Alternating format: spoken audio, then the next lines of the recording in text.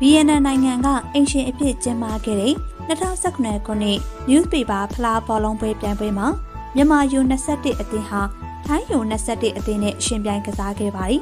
။မြန်မာအသင်းဟာဖုံးသစ္စာမိတ်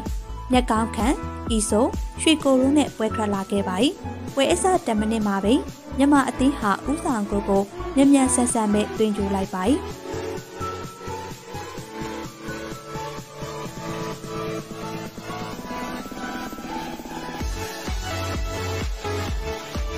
ဆိုပါတွင်ကိုကိုရွှေကိုကဂိုးသမားနဲ့တဦးချင်းအတွေ့မှာအသာရလေးတွင်ရလိုက်ပါ යි ။ပွဲကစားချိန်9မိနစ်မှာမြက်ကောင်းခန့်ရဲ့ဖေပုံမှုကနေ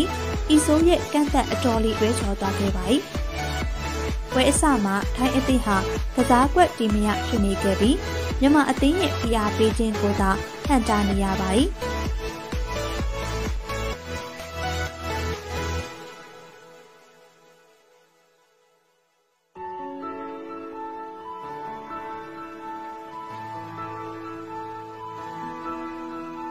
ဝေကစားချိန်18မိနစ်မှာတော့ထိုင်းအသင်းရဲ့ကန်ချက်6တိုင်ထိသွားခဲ့ရကြောင်းမြန်မာအသင်းတက်တာရရသွားခဲ့ပါ යි ။ဝေကစားချိန်21မိနစ်မှာထိုင်းအသင်းရဲ့ဖိအားပေးမှုကိုဟန်တာဖို့ကြိုးစားခဲ့ပေမယ့်ထိုင်းအသင်းကလှပတဲ့ခြေပါကိုတကူပြန်လည်ရရှိသွားခဲ့ပါ යි ။ထို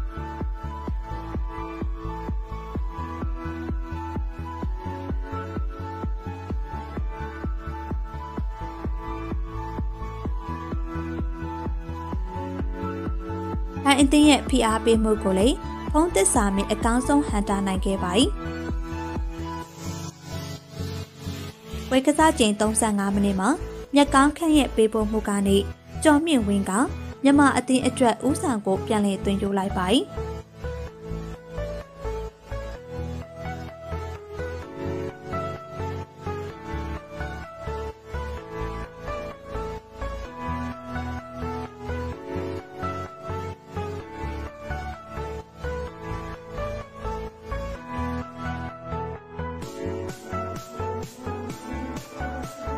ဒုတိယအပိုင်းမှာထိုင်းအသင်းဟာခြေပါကိုပြန်လည်ရရှိရန်အတွက်မြန်မာအသင်းဘက်ကိုပုံမဖိကစားလာခဲ့ပါ යි ။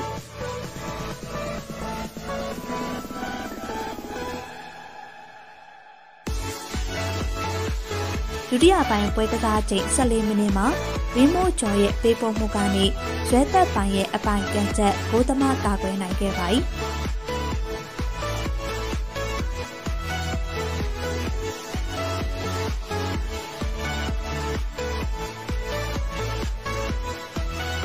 ဒုတိယပိုင်းပွဲကစားချိန်15မိနစ်မှာအီဆိုးရဲ့ပေးပုံမှုကနေအိတ်သက်အောင်ရဲ့အပိုင်ကန်သွင်းချက်ဂိုးပါတန်ထိသွားခဲ့ရကြောင်းနောက်ထပ်သွင်းကိုတကုနစ်နာသွားခဲ့ရပါ යි ။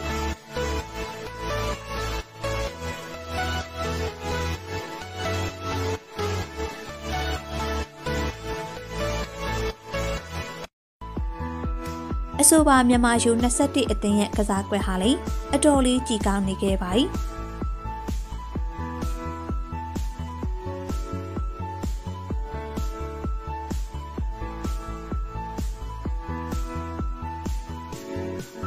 ဒုတိယပိုင်းပွဲကစားချိန်မိနစ်20မှာ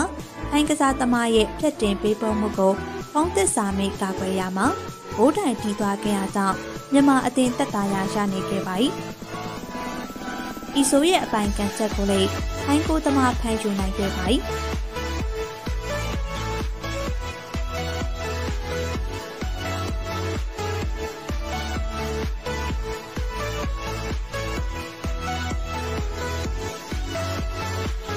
မြန်မာအသင်းရဲ့ထိုးထားမှုကိုထိုင်းနောက်ခံလူတွေခံတာရင်ဘိုးပါတဲ့နောက်တစ်ကြိမ်ထိမှန်သွားခဲ့ပါ යි ။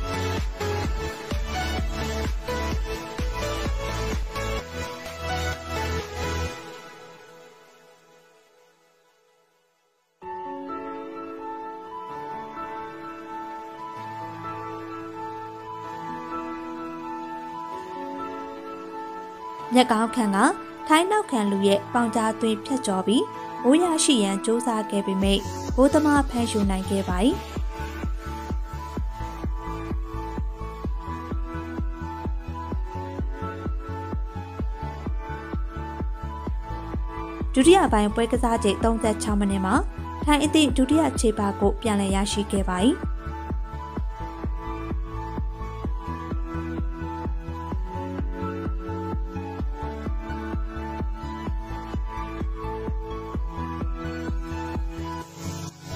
යි ဆိုပါသွင်းကိုကြောင့်အာရှကြားဟာနှံ့နှုံးလာခဲ့ပြီးထိုင်းအသင်းဘက်ကိုဒရက်ဆက်ဖိကစားလာခဲ့ပါ၏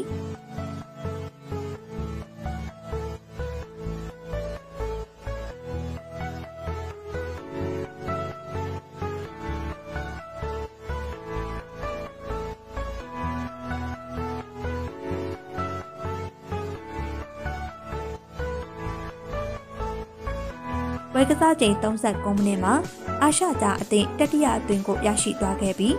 ဝဲကိုပြန်လည်ဥဆောင်သွားခဲ့ပါ၏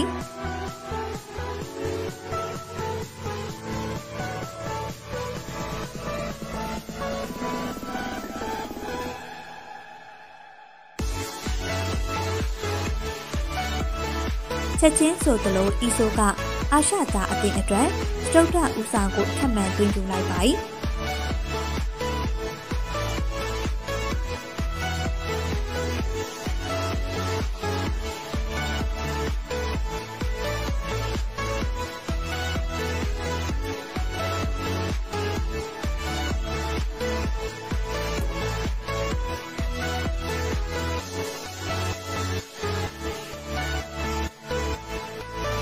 နောက်ပိုင်းပွဲကစားခြင်းတွေမှာနိုင်အသင်းရဲ့ဖိအားပေးမှုကိုနောက်ခံလူနဲ့ကိုသမားတို့အကောင်းဆုံးကာကွယ်သွားခဲ့ပြီးပွဲအပြီးမှာတော့မြန်မာယူ21အသင်းဟာထိုင်းယူ21အသင်းကို၄ဂိုး2ဂိုးဖြင့်အနိုင်ရရှိသွားခဲ့ပါ၏ဒီကနေ့မှာတော့2019ခုနှစ် BNN နိုင်ငံကအင်ရှင်အဖြစ်ကျင်းပခဲ့တဲ့ New Pace ပါဖလားပေါ်လုံးပြိုင်ပွဲမှာအပြန်အလှန်သွင်းကိုဖြင့် ထိုင်းယူ21အသင်းကိုဂိုးပြတ်အနိုင်ရခဲ့တဲ့မြန်မာယူ21အသင်းရဲ့ပွဲကောင်းတစ်ပွဲကိုပြန်လည်တင်ဆက်ပေးခြင်းဖြစ်ပါ၏။ကြည့်ရှုအားပေးတဲ့အတွက်အားလုံးကိုကျေးဇူးတင်ပါတယ်။